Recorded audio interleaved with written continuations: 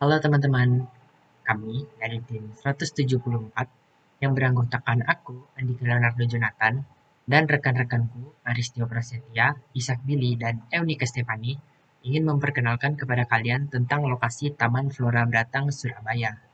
Nah, untuk mulainya langsung saja aku serahkan kepada rekanku, Ili.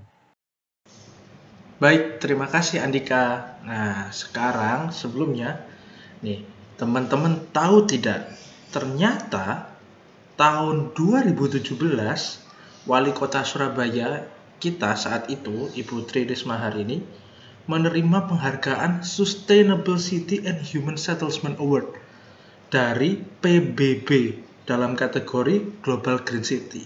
Nah, berarti ini kan kota Surabaya sudah mendapatkan pengakuan dunia. Nah, tapi kenapa ya kok kota Surabaya ini bisa mendapatkan penghargaan tersebut? Mungkin Andika bisa bantu menjawab ya. Nah, penghargaan tersebut diberikan karena Ibu Wali Kota Tri Risma hari ini dianggap telah mengubah wajah Surabaya menjadi kota yang jauh lebih bersih dan hijau biru. Oh, jadi begitu. Thank you Andika. Nah, kalau banyak pohon ini kan berarti pasti di Surabaya juga banyak taman ya. Ah, pantas aja di Surabaya tidak hanya dikenal dengan kota pahlawan, tetapi kota Surabaya juga dikenal dengan sebagai kota seribu taman. Kira-kira ada taman apa aja ya? Mungkin Eyun bisa langsung kasih tahu deh. Nah, salah satu tamannya adalah Taman Flora Batang yang ada di Surabaya ini. Kalian tahu nggak sih kota pahlawan Surabaya? Selain memiliki tempat wisata yang wajib dikunjungi, memiliki taman yang dapat menjadi tempat pembelajaran dan bermain loh. Selain Taman Bungkul yang terkenal itu, ada juga Taman Flora Batang. Kira-kira nih, kalian penasaran nggak sih sama lokasi Taman Flora ini? Yuk simak penjelasan berikut ini ya, yang akan dijelaskan oleh Tio. Oh. Jadi Yun, Taman Flora Beratang ini terletak di Jalan Manyar nomor 80A, tepatnya di Bratajaya, Gubeng. Nah, kalau kita lihat di layar juga, itu ada foto dari foto langsung dari Google Map di mana Taman Flora Beratang terletak. Nah, jika kita lihat di sebelah foto Google Map itu ada barcode dan jika kalau scan itu dapat uh, kita dapat diarah langsung diarahkan ke lokasi. Nah, ini adalah uh, satu uh, video uh, tangkapan dari alun-alun Surabaya ke uh, Taman Flora sendiri.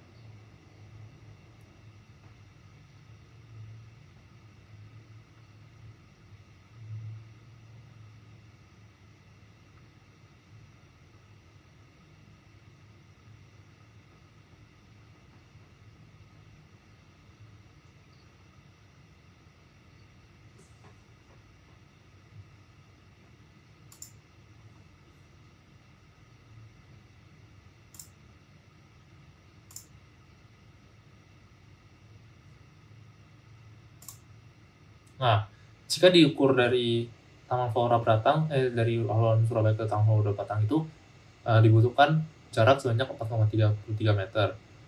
Nah, jika diukur dari Balai Kota Surabaya, jarak Taman Flora sendiri tidak terhitung jauh. Kurang lebih hanya berjarak 66,1 km untuk transportasi dan dapat diakses pribadi maupun umum. Uh, dan jika menggunakan jalur pribadi, jalur kendaraan pribadi, itu dapat diakses uh, melalui jalan Dharma Wangsa. Nah, terdapat juga arena bermain, kolam buatan, jalur refleksi, air mancur, dan olahraga yang ramah anak. Sehingga taman ini cocok untuk anak-anak belajar sambari uh, menikmati indahnya pemandangan yang ada. Uh, jika kita lihat, uh, ini adalah foto dari pintu masuk Taman Flora Beratang. Uh, taman ini juga buka pada hari Senin sampai dengan Minggu, mulai dari pukul 8 pagi hingga 5 sore. Dan kita tidak perlu bayar untuk masuk ke dalam tamannya, alias gratis. Nah, gimana teman-teman? Sudah tertarik belum untuk datang ke Taman Flora Batang Surabaya? Yuk ajak sahabat kalian, ajak saudara, dan ajak pacar kalian untuk datang ke Taman Flora Surabaya ini. Sampai jumpa di sana. Bye bye. Bye bye. bye, -bye.